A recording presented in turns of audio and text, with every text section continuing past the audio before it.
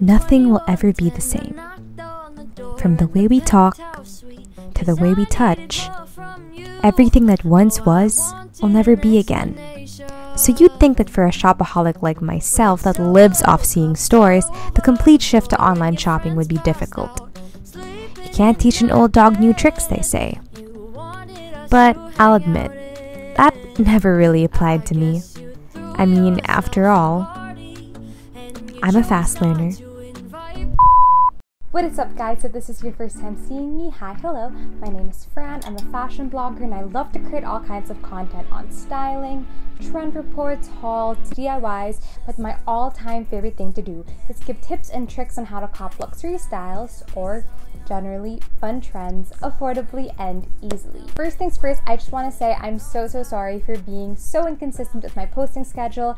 I took like a month long hiatus off of YouTube, but all for good reason. I decided to focus on my little quarantine clothing brand called Off Duty Avenue. So I was working on a lot of tie-dye pieces, but I'm getting ready to release my official launched collection, so stay tuned for that.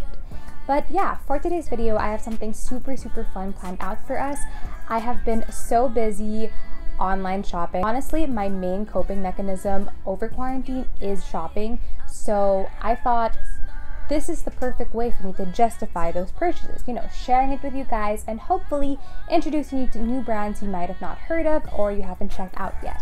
So without further ado, let's get into it. So the first dress that I got is the Arizona dress from Calli Collective. It's this beautiful spotted slit dress with a crisscross back. I really love this. It's so playful and so chic. Next up is this yellow gingham self-tie bustier dress. I got this from someone on Carousell, brand new, unused, and still with tags intact. I actually have this exact dress on my Pinterest board and I put that there like months ago. So when I saw this on a listing, I snagged it right away. Then I got the Olton mini skirt from Princess Polly Boutique. I've wanted this for so so long. It's this really cute pink and red satin floral skirt. I actually got it through a Pasabay service on Carousell. So basically on Carousell, if you search Pasabay, you'll find a bunch of people who are basically acting as like middlemen for international shopping. So you tell them what you want from abroad, then they handle like all of the order placing, the customs, and all that. Then you split the shipping fee with the rest of the people availing of the same service, and you also pay them a shopper's fee. Lots of people do pre-orders or Pasabays for Brandy Melville and similar brands. It's just the same concept, you tell them what you want, they place the order for you, then you split the shipping fee with the rest of the people who are sharing that like box with you so you guys can get a discount on the shipping if you reach a certain amount.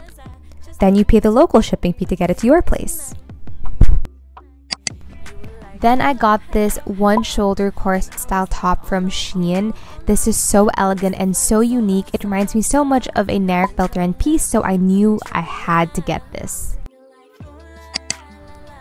I am literally obsessed over corsets, so when I found out that my friend from my PE class last semester could crochet, I asked her to make me this custom crochet corset top inspired by Colleen Diaz's outfit photo and it looks so good. They're also selling this exact piece on their IG Lolas of Manila. Go get it guys, it's adorable. This one's basically like a two-in-one. My bottoms are from Brandy Melville. They're blue plaid trousers, which feel a lot like pajamas, honestly. And then my knitted top is from Shein. Very Orseund Iris, so very my style. I've been eyeing this corset style bodysuit from Missguided for ages, so when Zalora finally went on sale, I picked it up and never looked back. This top holds a special place in my heart because I've been obsessed over with Jean's Rendezvous top, so when I saw the local store Gleam Darling make a similar version, I asked them to make me a custom one with more coverage and they so kindly obliged and made me this beautiful, beautiful top. Guys, I'm literally obsessed over this new local brand called Girls Religion. This was my first purchase from them, and this denim tube is just the bomb. And of course, I didn't stop there. I also got their Liz Maria top, which was ultimately the thing that attracted me to them. I saved up for it and I finally got my own.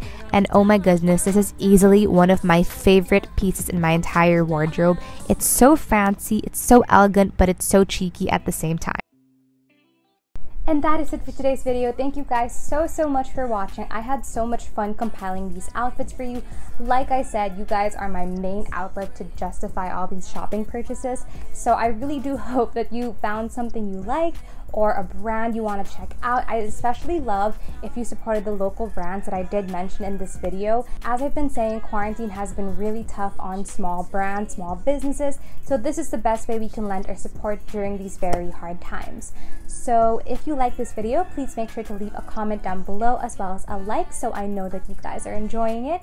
And please don't forget to click the subscribe button down below and the notification bell so you can be notified every single time that I post. Also, please don't forget to follow me on the rest of my social media platforms. You can follow me on Instagram at francis.beltran.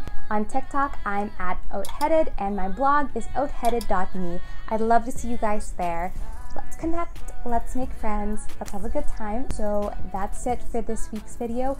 Thank you again for watching. Don't forget to stay safe, social distance, wash your hands, disinfect your packages. I'll see you guys next week and remember that anyone can channel sheep for cheap. Bye guys!